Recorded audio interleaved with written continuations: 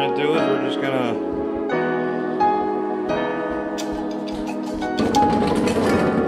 dump them in the sink. Give them a little bath.